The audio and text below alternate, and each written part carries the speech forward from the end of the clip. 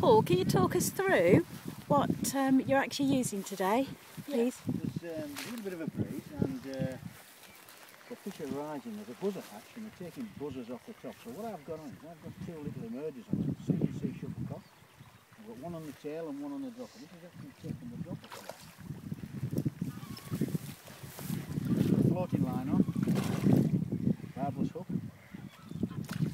Always keep tension on the line when got barbless hook on.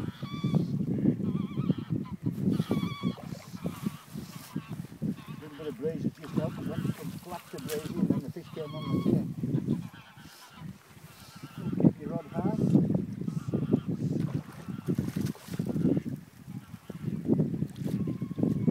Bring the fish across the net. Never take the net to the fish. Here we go.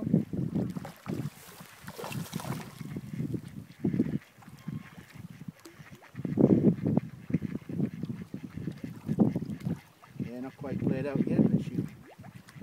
Right, easy, get the head out of the water, there we go. Still. One failed attempt. Here we go, this time. There we go.